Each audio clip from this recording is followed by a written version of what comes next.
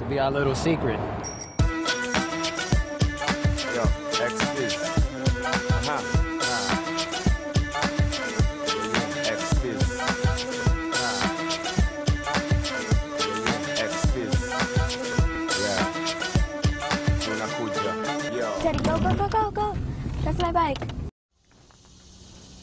That's a scene from The Bicycle, directed by James Richards. It's one of the feature films being screened at the 22nd Annual African Diaspora International Film Festival, and just one of the films that examines the complicated relationships between black women and their fathers. I'm pleased to welcome to On Screen, Arise On Screen, the festival's co-director, Diarah N'Daw-Spech. Hello. Thank you for being here. Thank you so and filmmaker James Richards, director of The Bicycle. Welcome, both of you.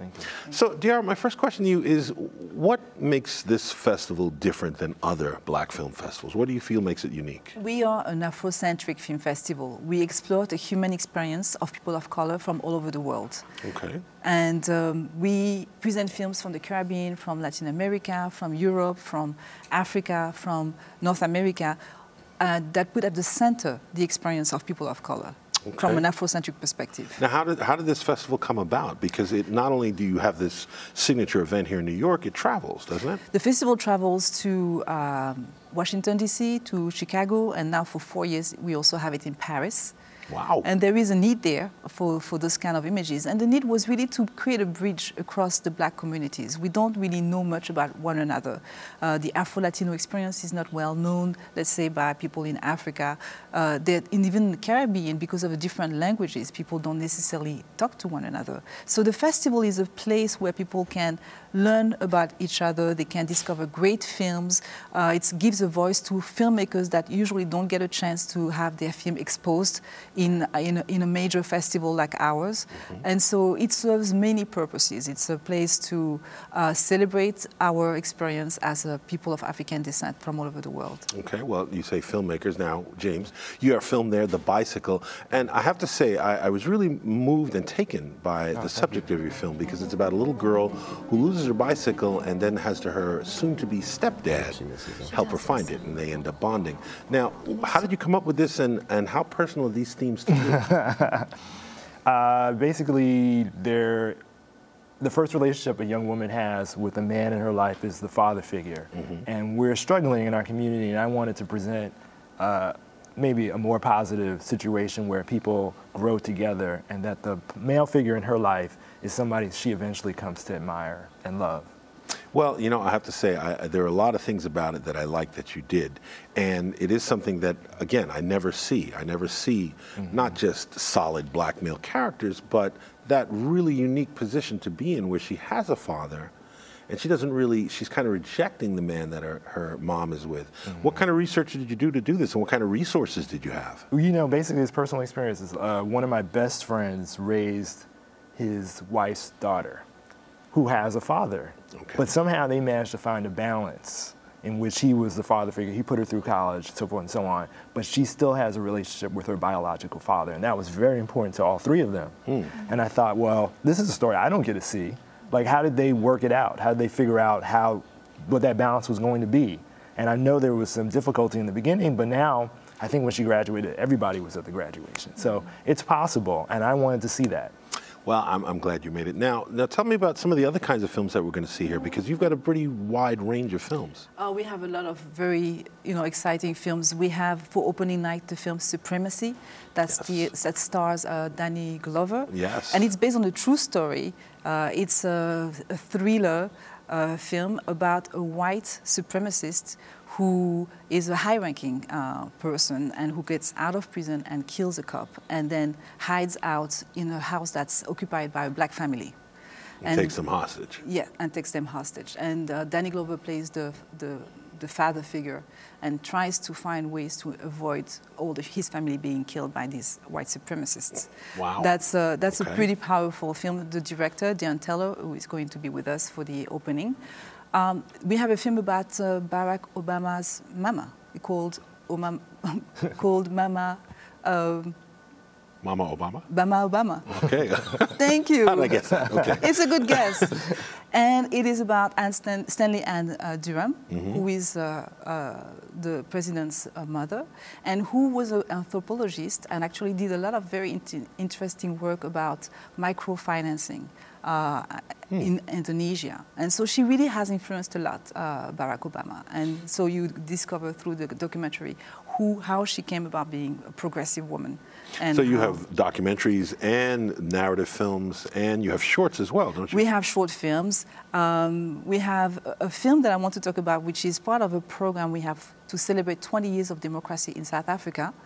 Uh, it's called Between Friends. It's a romantic comedy, romantic comedy, and it is actually uh, by a filmmaker who is called in South Africa the next Tyler Perry, or the South Okay. Africa Tyler South Perry. African Tyler Perry. Now let me ask you, uh, how many films are you going to have in this festival? So we have 89 films. 89. wow. from 43 countries, and 47 of those are going to be premieres in New York. So it means that these are films that you had not a chance to see New York, and you will probably never get a chance to see again. Now the festival begins what? This Friday? November 28th, This yeah, past this Friday, Friday. okay. Yeah. And runs till when? Until December 14, Wow, okay. And there's a website? there's a website www.nyadiff.org, and our, our phone number 212-864-1760. Okay. Well, I have to say, uh, seeing what you have here and seeing uh, some of the other films you've had, A I lot think of this is a filmmakers festival. are going to be around. So I think it's it's a going festival be, to go to. Yes, absolutely. So thank you both for coming down, and uh, I hope to see more work from you. I hope so too. Okay. Thank you for having us. So thank you both. And we'll be back to talk more movies here on Arise on Screen.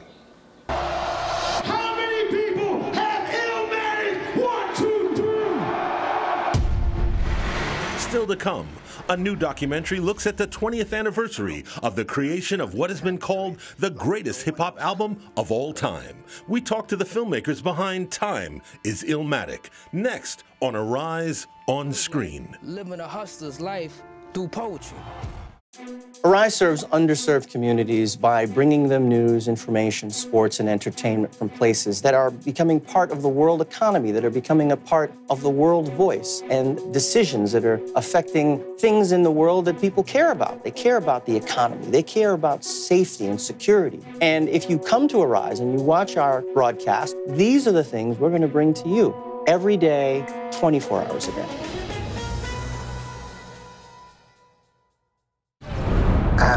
Passion for music. That was gonna be my out. I said to my boss, please let me sign this kid. I was trying to make the perfect out. Within a week, everybody wanted to know who that guy was. I gave you what the streets felt like, sounded like, tasted like. I had to block that hate out or tear that down. And my choice was to tear it down. Nas's groundbreaking 1994 debut album, Time is Illmatic, ushered in a new era of hip hop and cemented Nas's status in music history. The new documentary traces the roots of the creation of this classic. I had a chance to sit with director One Nine and writer Erik Parker to talk about their 10 year journey to bring their film to the screen. I love the documentary, and I have to ask you, you know, you, you both were quoted as saying that when you began this, it was about the 20th anniversary of the album, but it was much bigger than that. Elaborate a little bit. What made this bigger than just a documentary about this album? Well, it was 2004 when we first started. You know, mm. me and One Nine were just fans of Illmatic. You know, we loved the album and everything he talked about spoke to us in a way that no piece of art did before. So when we originally started shooting this um, documentary, it was just a bunch of friends got together. And One Nine had a camera, old school camera. We had no money, so we pulled out money, whatever we had in our pockets, and we started shooting the out of passion, just to try to figure out what was the mystery of Illmatic. Okay, so that was the original vision. That was the original vision. And um, our first interview was with uh, Olu Dara, Nas's father up in Okay. Harlem. And that really, that interview changed our whole scope of what the film was going to be. So we sat down with him, and he really talked about the history of the Jones family from Natchez, Mississippi, the richness of the blues and jazz. He talked about the books they read, um, the issues that they faced growing up, and really more about the spirit of what they were about. And, and that in turn really set us onto a different path. We realized we're going to make a film now that's that reaches two different generations and also looks at the social economic issues that really are covered within Illmatic. So it was a bigger project than what we anticipated. Now, was Nas immediately on board for your vision of the film? No, originally, you know, it was just us. And you know, the thing about Illmatic and people who make who are associated with Illmatic, we'd call them up the Pete Rocks, the Premiers, right. people who are, you know, luminaries in hip hop. But one thing about them all, they love talking about Illmatic. You know, they, however far they've come in their careers, Illmatic is something that's still very special to them because it relates to their generation. It relates to them bigger than just their music. So, I mean, um, Nas, when he first heard about the project, we just talked to him and told him what we were doing. And he didn't sign on immediately. Imagine it was a 10 year anniversary of Illmatic. You know, we had a few clips, but he didn't sign on immediately. He kind of said, you know, guys, keep going at it. You know, he kind of liked what we were doing. He kind of gave us an encouragement and pat on the back and said, keep going. Well, you know, it's interesting. Originally, hip hop was, in, and you said it was a tool of rebellion. It's mm. it's been something that can speak to things that can't be spoken about. Right, right. What do you think it was about that album? That you know, what did it resonate with you? Where were you when this dropped? Um, when that Illmatic dropped in '94, I was in Washington D.C. I was still a street artist, um, graffiti artist, if you will, and I was really immersed in the culture. I came from within it. Um, both Eric and I did. Um, but that album really spoke to our generation. It spoke to the really with the core essence of what lyrics and rhymes over just in the sonic beats that were just incredible. But but more so, it really spoke to a time. You know. Yeah. And it really, it really spoke in the way that it didn't feel like it was preaching to you, but it felt like it was elevating you and it, taking you through the darkest path and showing you glimmers of light here and there. So, you know, I, I compare it to, you know, I, I, love a lot of music, so I listen to Marvin Gaye's "What's Going On." What's going on? Great and, comparison. And um, to me, it's it's in that lineage of really reflecting the society, but it's doing it in a way that brings lifts your spirit up, you know. And so, to me, Illmatic was the right album at the right time, and, and it spans, you know, generations. It still holds that weight. I agree. Now, tell me a little bit about how you two work together, because you know you went, and I don't know how you did it, go from being a graffiti artist right. to being a writer, producer, editor. And how did how did you two work together, and how did it come to be that you worked together on this? Well, first it started with a passion. You know, we mm-hmm. both have a passion for one telling a great story, and two for uh, Illmatic, which was the which was the first vehicle for us. It explained a lot for us. So we started there. We had a similar outlook, a similar worldview, and a similar perspective. And it was a bunch of friends at the time who originally started. It was just me and One Nine who were finally the last crazy guys who would never let it go. but you know, the way we work together on a on a granular level is One Nine is a visual artist. He's really a great storyteller of our generation, and he could see things differently than most people. When we first started, One Nine was like, you know, let's get a photographer to come and shoot stills. And me, I was just like, I don't, I don't know about that. Sounds good, whatever. And that was something I was not thinking about. Throughout the film, you'll see some Super 8 footage, that one nine shot, which is something I wouldn't think about doing. But as a visual thinker, he would think differently than I did. On my end, I did a lot more of like the interviews and mm. thinking of the correct, the, the type of the story. The right arcs, questions. Some of the right questions to get the best stuff that we might need to tell the stories that we need. And but we both each share the vision. So when we saw the final end product, it was this huger story than than everything that we thought Illmatic was, you know. You know, even even more specific too. Like Eric came with, we came with two different languages: a visual Right. language and also a written language of how to connect the connect the parts. But thematically, we looked at the album, the song titles on the album, New York State of Mind. We really wanted to look at the Mm. history of Queensbridge houses, how that affected families, and in particular the Jones family, and how did Nas, you know, use that energy to really write. Um, Life's a bitch. In our film, we look at the family being torn apart. Mm. Nas being the head of the household at seven, eight years old.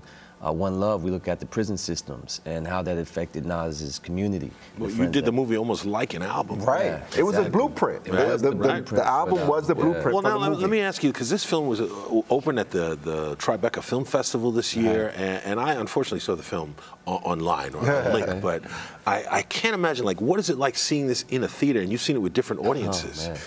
We screened this film uh, to a wide array of audiences. People always ask, you, "Are you guys tired of seeing the film?" And the answer is, we don't. It, we might be tired if we're sitting in the room watching it, but each time you see it with a different audience, it has a new life. You have, it's a, it's a unique experience all into itself.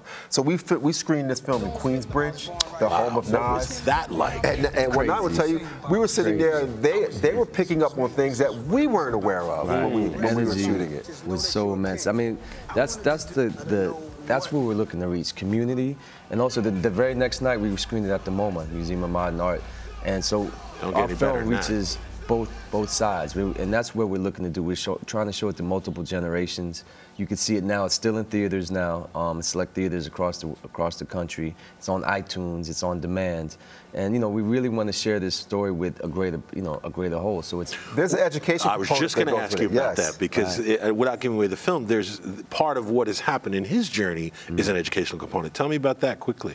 Yeah, the, our associate producer Martha Diaz Mm-hmm. ha, is spearheading the education and, and and outreach component of our film, which there will be a curriculum attached to it, so it can be taught in schools and colleges. We'll be doing a tour where we can have panel discussions, and and there and, and we're doing some community outreach at the same time. So we're really trying to make sure this film is used as a tool, not just something you experience in the theater, but something that can actually affect social change in America. Like rap was originally. right, right. All right. Exactly. Time is illmatic. Thank okay. you, sir. Thank, Thank you you very man. much, All Mike. right. Appreciate it. Thanks for watching. I'm Mike Sargent, and we'll be back next week to talk more movies here on Arise on Screen.